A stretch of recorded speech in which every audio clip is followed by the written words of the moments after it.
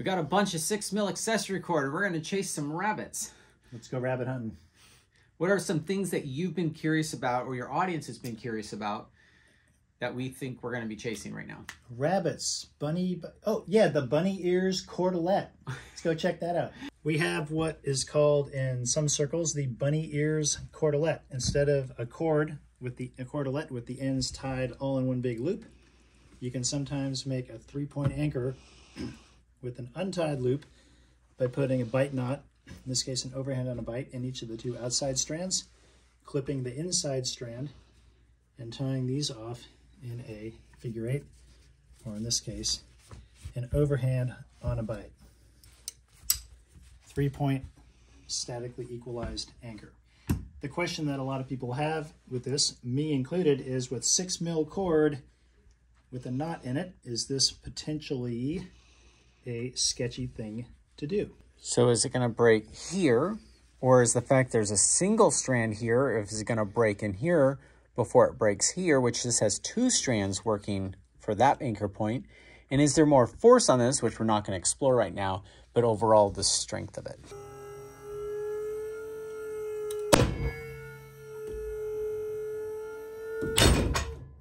Broke here first, then broke that because that was stressing that part out. 15.4 kilonewtons. So do you think this anchor configuration can make it stronger, or do you think this is more or less limited to the strength of this typically breaking around five or six kilonewtons eye to eye? If this was like an eight on this side and an eight on this side, it's going to break around five or six. So you're getting triple of that. So I don't think you're going to do much more to make that stronger without a fourth point or something. I've heard some people say that they're not they're concerned with the bunny ears because this is an MBS of seven kilonewtons and you're tying a knot in it and doesn't that weaken the one arm and what if all the load shifted onto that one arm and this is assuming the load stays pretty constant like we just pulled. In that case we're at 15 so even with six mil cord I think this is an okay thing to use in some situations when you're probably not going to have some crazy factor two fall. Bass rescue type thing when you have pickets that are far away from each other and you've got a relatively short cord and you want to kind of equalize this, this would probably work okay for that. It's good to just know the number. Uh, an anchor is supposed to be serene, strong, equalized, redundant, non-extended. And is it strong? That's the question. So if, if this is a 15 kilonewton anchor, is that strong enough? Because I like to think of not having my anchor to be the weak point, but to be what I clip to it to be the weak point. It'd be nice if it was 30 and this be like 25. It's rated for 22, but it'll break like typically 25. Um, and so you, and then your rope breaks a little bit less than that. And then you break a little bit less than that. And so progressively, like the bolt you connect this to is like super strong. So like progressively gets weaker until it's your spine, which is the weakest link in the system. What do you think? Is 15 enough? What's the next rabbit to chase? Let's have a look at cross-loading the sewn loop daisy chain. Here we have a sewn pocket daisy chain, which is designed for aid climbing and body weight only. Some people use this for a personal tether. Fortunately, not much anymore, but here's a general reason why. If you clip one pocket, you're relatively safe, but if you happen to clip two adjacent pockets, you're only being held in by these three bar tacks, and if you were to load this suddenly and these pop, the carabiner is completely off of the daisy chain, and so are you. I've heard various different strength ratings for this, two, three, four-ish. Today we're going to give it a try and see what we find on two or three different pulls. How long have you had this? Long time. When I first started aid climbing like 20 years ago. So that might have something to do with the stitching strength as well. Let's find out. yeah, let's have the disclaimer. It's not new material. oh, that is more than I thought it would be. So it has three bar tacks. Uh, it's, it's three there. So this is a black diamond one, and this has two bar tacks.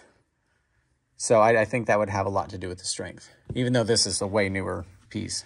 Those BD bar tacks look a little more robust than the other ones too. That's true. Yeah. I've seen people shortening up their daisies like you're getting ready to jug. Yeah. They're clipped in to one and they think, oh, I need to make it shorter. So instead of unclipping and reclipping, they rotate the beaner and clip both, and they think they're shorter. They are shorter.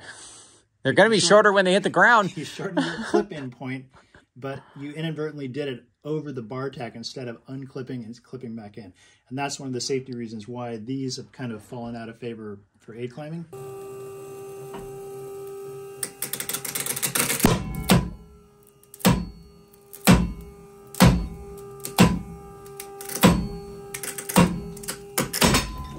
I did not know that's how it, how it happened.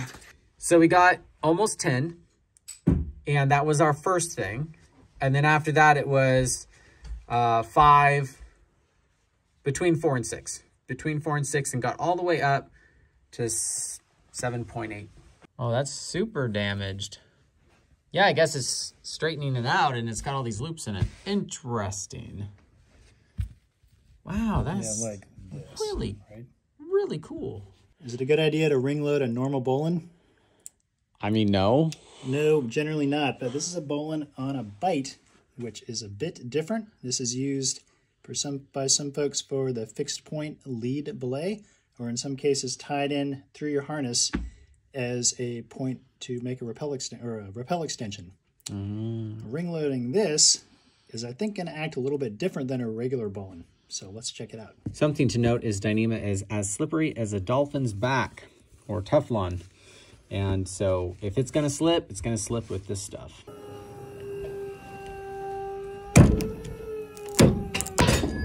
Did slip a little. Ah, dang near the full strength of the sling. Wow. The self-untying bowline. I hear they were easy to untie. Apparently, they do that all by themselves sometimes. Yeah. If you put 20 football players on it. just a length of accessory cord or rope, you can make a pretty good anchor. I'm assuming it's a pretty good anchor. Well, hopefully. Uh, I put it through all three bolts here, and then I'm going to grab it like uh, when you're building an anchor and pull it to here. Now you'll notice that I don't have the ends terminated up here, and I don't have the ends terminated to each other. So how does this hold, you ask? is this is called a tailless BFK in highlining, which is a really stupid name for it because it's got some really big tails. And this takes quite a bit of material to build, but um, you basically tie in these tails into your BFK. So after you get it to roughly where you want it, go like that, and then you tie an overhand or an eight. In this case, I'm just gonna do an overhand. And this is what we do a lot of highline anchors with. And so I'm really hoping this performs well here because we only use an eight millimeter rope for so many of our highline anchors. This is six millimeter. How much cord would you guess that is if you had to eyeball it? So if that's five feet, my arm span, uh, about 10 feet of material because it was in a U shape there. Okay. So I'm gonna clip this to this. I'm gonna adjust a few things and then we'll just pull on this and this is okay. Sometimes I'll make this piece longer and then tie an eight on the end and I use that as a built-in clip-in point or, um, or I'll thread it even. I'll follow through like a Yosemite finish, take that, feed it back through and tie an eight on the end of it and you now have a built-in personal anchor clip-in point or you just put a carabiner on the end and if this is on top of the cliff or a slack line, you just walk up, clip, and you don't have to have a personal anchor on your harness. Anyways, but for climbing, this could work too. Another point here is you have two strands coming from each anchor point, and you have a much bigger knot with more material here than our previous test uh, earlier in the video.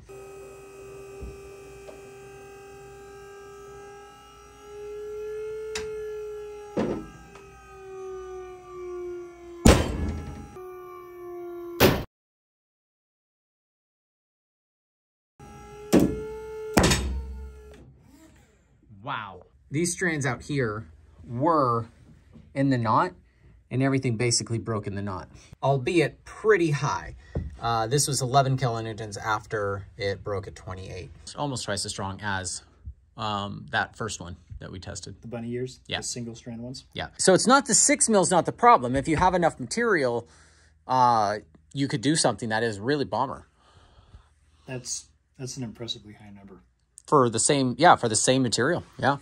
So lots of people think that you should not use six mil ever for a cordelette. That's kind of a talking point in a lot of climbing folks. Um, I generally believe that too, but I have a lot more confidence in six mil now after this testing, provided it's rigged in certain ways and depending on your own level of risk tolerance. Mine is not yours. Yours is not mine. But uh, the lowest we got was 15 with the single strand cords with the six mil, and this one we just got now was 20, Eight. 28. Yeah. Almost double with slightly different rigging. Now for reference, this is 7 mil, and this is what a lot of people recommend. And you can see that there is a diameter difference there, and it doesn't seem like much, but It adds up and it gets pretty bulky on your stuff. I personally like quad anchors because you can get that 30 kilonewton range. It equalizes super good enough. I'm usually big walling with it, but um, sometimes I would just take two climbing Dyneema slings off my shoulders and sliding X that thing, clip my master point in. I'm not worried about a little extension. There's a whole bunch of dynamic rope in, in the whole thing. Uh, and two slings in a sliding X is so strong. I think too many people are worried about extension. They're so wadded up about no extension. Are you wadded up about extension? A little, sometimes. Maybe I shouldn't be. I'm a big proponent of redundancy though. We have the somewhat infamous Connecticut tree hitch. We're not going to get into how to tie this, but a question that some people have is, what does it slip with clipped one strand as we are now?